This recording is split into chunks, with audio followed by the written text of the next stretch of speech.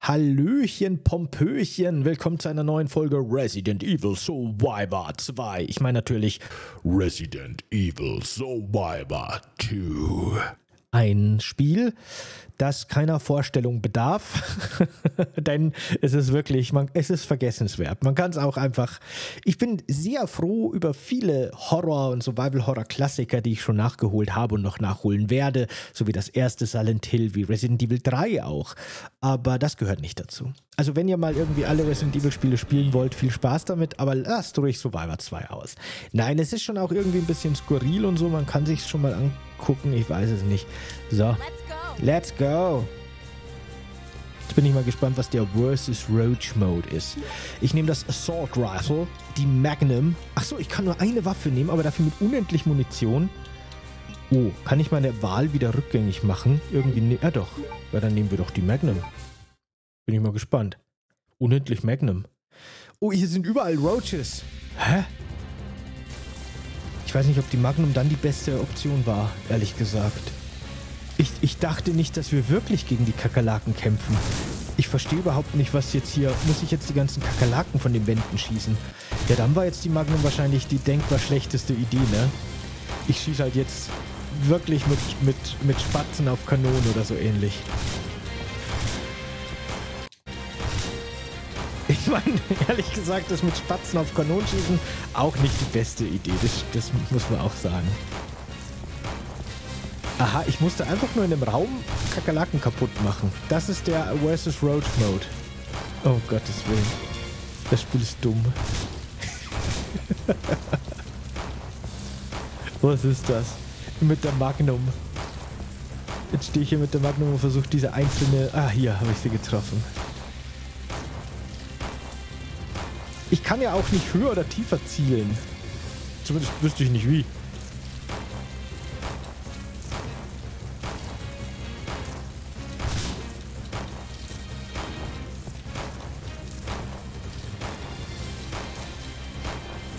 Oh mein Gott, hätte ich eine andere Waffe nehmen sollen. Ich kann jetzt nur hoffen, dass die Zeit abläuft oder so, ich weiß es nicht.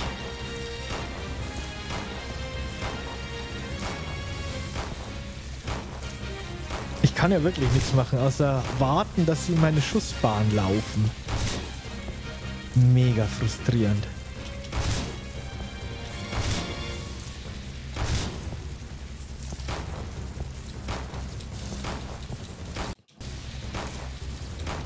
Wie kommt man auf die Idee? Wie kommt man drauf, so einen Modus zu machen? Vor allem, was hat das mit, was hat das noch mit Resident Evil zu tun, oder? Das sind ja nicht mal irgendwie mutierte Kakerlaken, also zumindest tun mir die nichts. Die sehen auch normal groß aus. Also für so amerikanische Roaches. Yeah! Das ist der Versus Roach Mode. Meine Güte. Interessant.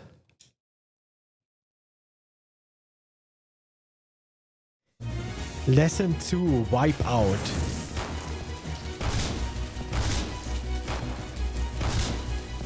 Nein, ich mach, ich muss das jetzt nicht hier einfach in 100 Räumen machen, oder? Mit der Magnum. Okay, wartet. Okay. Okay, machen wir von mir aus nochmal den Versus Roach Mode. Warum denn nicht? Ist okay. Aber wir machen den nicht mit der Magnum. Ich, warum ist das überhaupt eine Option? warum sollte man... Na, das ist die Frage, ne? Ich habe ursprünglich gedacht, nehmen wir die, das Assault Rifle mit, aber die Schrotflinte könnte auch ziemlich... Nehmen wir, vertesten wir mal die Schrotflinte. Mal gucken, ob die ganze Wände sauber macht, so wie ich hoffe. Let's go. Mal gucken. Die, die ist hoffentlich, die dürfte sehr viel effektiver sein als die Magnum. Wobei ich gesehen habe, dass die Magnum tatsächlich auch manchmal zwei, drei Kakerlaken gleichzeitig erwischt hat, ne?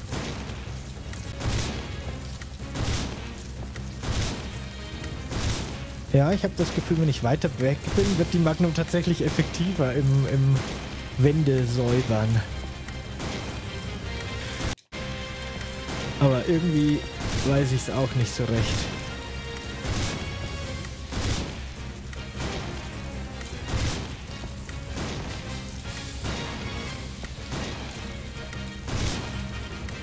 Ja, wisst ihr was? Ich versuche noch mal kurz das Assault Rifle. Mal gucken, ob das ein bisschen besser funktioniert. Oh Gott. Das Spiel ist so mega weird einfach. So weird. Ich schätze mal, die haben irgendwie mit begrenzter Zeit und Ressourcen versucht, einfach alles aus diesem 30 äh, Minuten Arcade-Spiel rauszuholen für die Konsolenadaption. Ne? Aber irgendwie hat Capcom zu zwei Praktikanten gesagt, hier macht das mal übers Wochenende unbezahlt. So ungefähr wirkt das. Hier habt ihr das Arcade-Spiel, macht mir da übers Wochenende unbezahlt eine Umsetzung für die PlayStation 2. Let's go. Viel Spaß. Ja, Assault Rifle ist das Beste hier. Weiß nicht, ob Treffergenauigkeit eine Rolle spielt, aber damit kann ich halt einfach in die Richtung der Kakerlaken halten und hoffen, dass sie einfach reinlaufen und es funktioniert. Damit kann man arbeiten. Wenn ich jetzt noch hoch oder niedrig zielen könnte, das wäre der Hammer.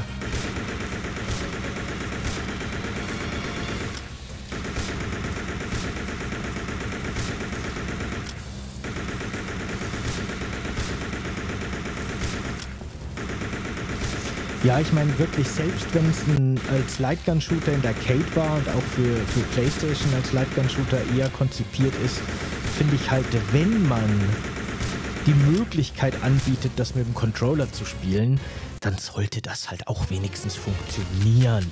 Und das tut halt wirklich nur so, ne? Boah, gerade so, barely. Gerade so spielbar, würde ich sagen.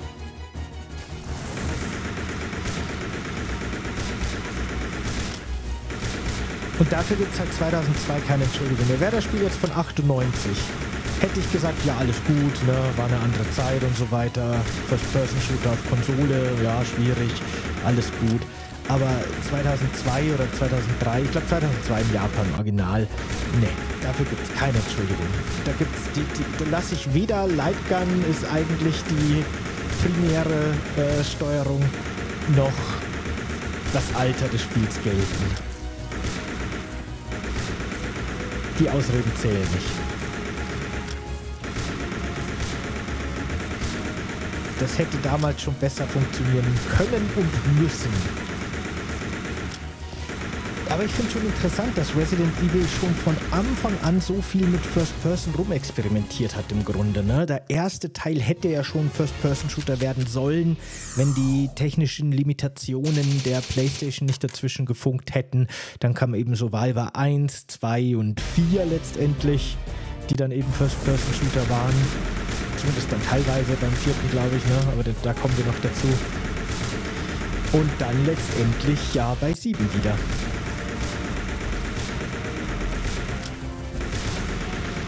Das finde ich ganz interessant, weil 7, jetzt wo ich mich so ein bisschen mit dem Cut-Content und ne, mit den verworfenen, ähm, mit den verworfenen Konzepten der Resident Evil-Reihe und so weiter beschäftigt habe, äh, kann man Teil 7 fast unter der Perspektive sehen, dass das so ein bisschen die ursprüngliche Idee von Resident Evil umgesetzt hat. Jahrzehnte später aber das hätte Resident Evil 1 schon sein können und wollen, so ein bisschen, in der ursprünglichen Vision. Das finde ich das schon sehr spannend. Und dann haben sie ja auch ein Chris-Modell gewählt, das zwar allgemein sehr gehatet ist, das ich aber ehrlich gesagt gar nicht schlecht finde, weil das sehr viel mehr an den Original-Chris erinnert hat. Das war halt nicht mehr der Resident Evil 5 Bodybuilder Chris, aber das war eine sehr gute Besetzung und eine sehr gute Interpretation, hey, S-Rang, des Original Resident Evil 1 Chrises. Finde ich super. Also, das war ein guter Chris für mich, der Resident Evil 7 Chris. Mit dem hätten sie gern weitermachen dürfen. Ich bin gar kein Fan vom Resident Evil 5 übertriebenen Actionheld äh, äh, Bodybuilder Steinhau Chris. Eine Stufe zurück, back to the roots. Hätte, oh, Motten, hätte mir ganz gut gefallen sogar, würde ich sagen.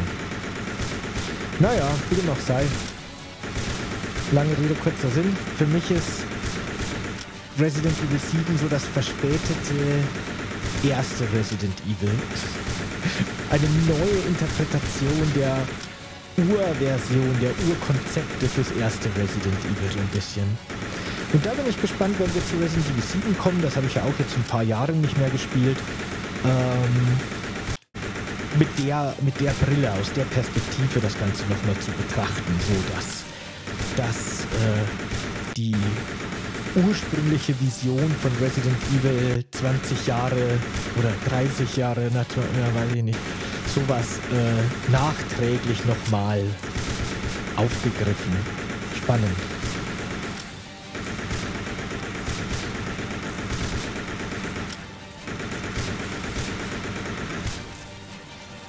Ja, der Versus Roach Mode ist schon was Besonderes. Mein Gott, die, Folge hier dauert erst 10 Minuten.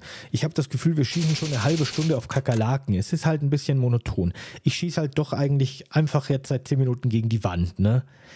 Und es, aber jetzt, jetzt kamen immerhin Motten. Ah, der Final Showdown. Kommt jetzt, kommt jetzt Kacker, Kakerlaken Nemesis. Ich habe wirklich gerade Schaden bekommen. Oh, da ist ein Laser. Was? Guck mal, da ist ein kleiner Roboter-Laser, äh, Laserroboter an der Wand. Die Kakerlaken haben aufgerüstet anscheinend. Nicht schlecht, nicht schlecht.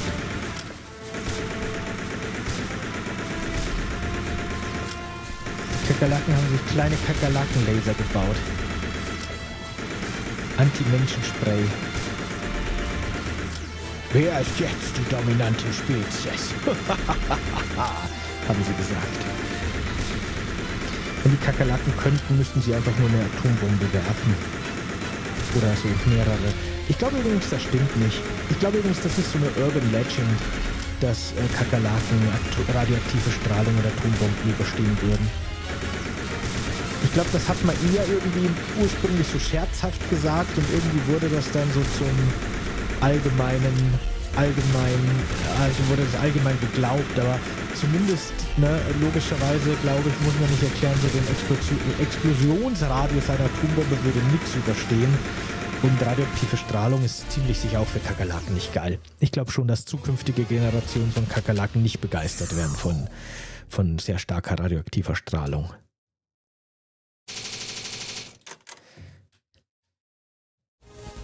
Yeah, alle Missionen abgeschlossen. Die Kakerlakeninsel wurde von einem Chat in die Luft gesprengt. Hey, ich habe mal noch mal in ein Wiki geguckt und ich habe zwar die Quellen nicht überprüft, weil ich nicht dran gedacht habe. Ich habe, das war eher so zufällig.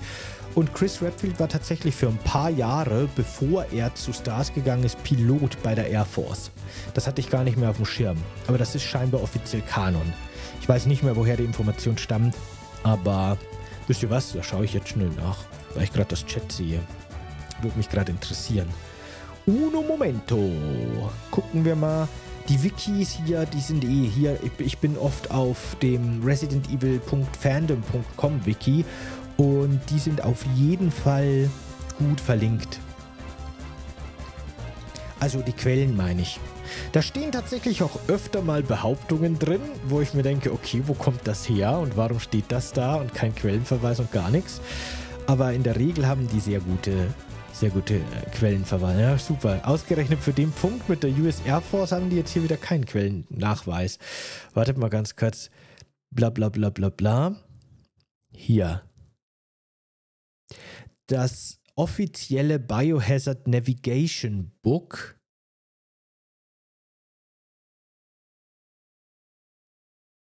Ah, in Resident Evil 5 wird das anscheinend auch nochmal bestätigt, wenn man seine Pfeil liest. Okay.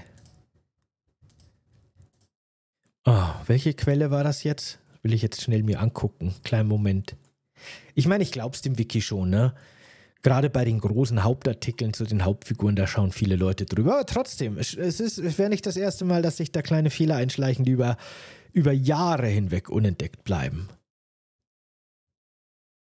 Da haben ja ich und Michael in, in Fallout die Fehlinformation aufgedeckt, dass der mysteriöse fremde Farmer genannt wird. Eine Information, die es in super viele Lore-Videos von allen Creatoren auf der ganzen Welt geschafft hat, weil das jemand irgendwann mal ins Wiki geschrieben hat. Aber auch mit Quellenverweis, aber in der Quelle findet man halt nichts davon, ne?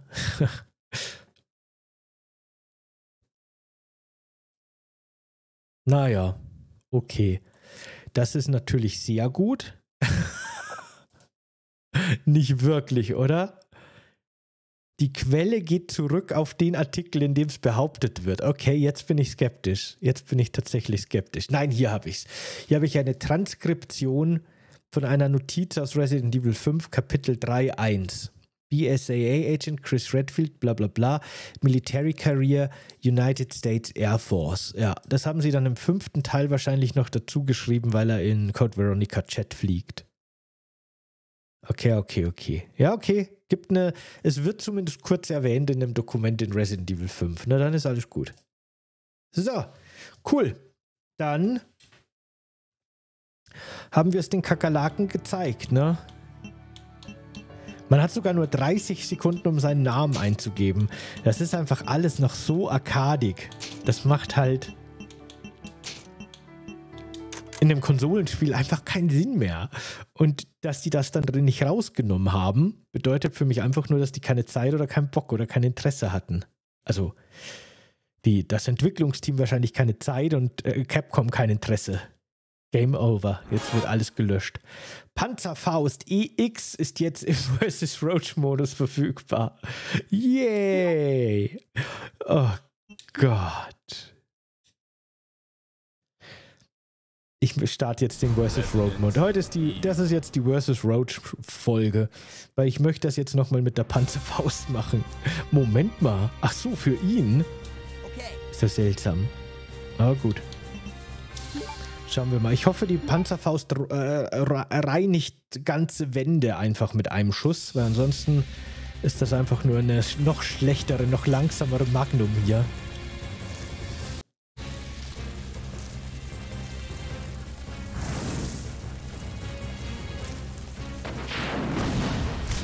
Okay. Ich finde es sehr lustig, wie verzögert die Kakerlaken sterben. Dauert irgendwie nach der Explosion ungewöhnlich lang. Vor allem explodieren die so kleinen Feuerwerken. Sind halt irgendwie Sprengstoffkakerlaken. Ich habe heute zum ersten Mal, wie heißt die Seite gleich nochmal? Human or AI oder so ähnlich äh, gemacht. Das ist so eine Seite, da hat, chattet man zwei Minuten lang mit einer Person. Man hat immer nur 30 Sekunden oder weniger sogar Zeit, um Antworten zu schreiben. Und dann nach dem kurzen Gespräch muss man raten, ob man gerade mit einem Menschen oder mit einer KI geredet hat.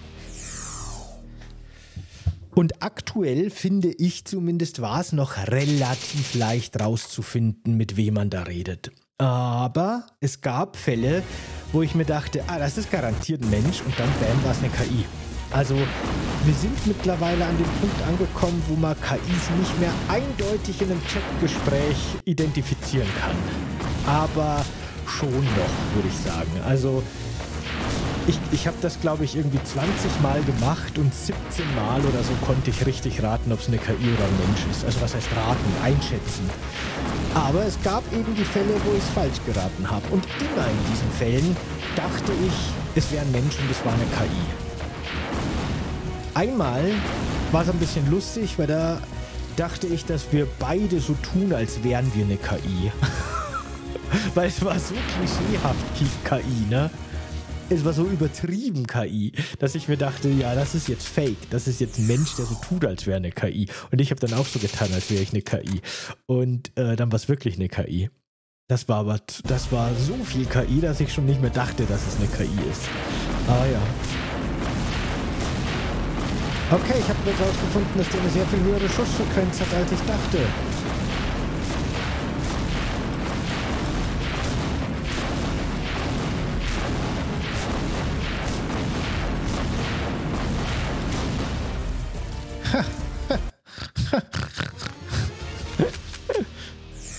Okay, das ist ziemlich mächtig.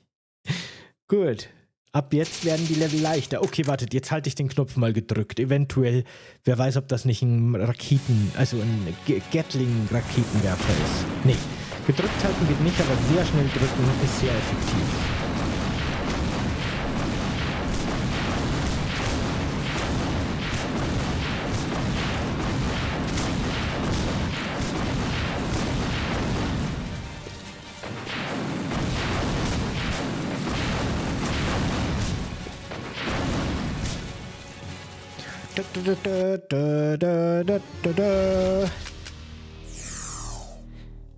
Wie konnte ich im zweiten Level eigentlich Rang D kriegen? Ich verstehe es nicht. Alle anderen waren bis jetzt Rang S. Ist das wieder so ein weirdes System, wo es irgendwie bis Triple S geht oder so, wie man das aus japanischen Spielen oft kennt?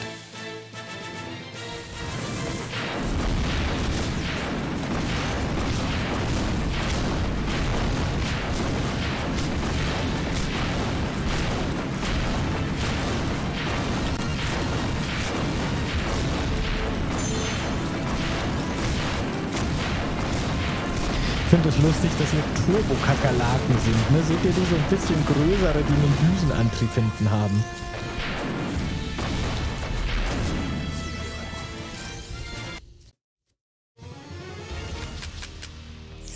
Yay!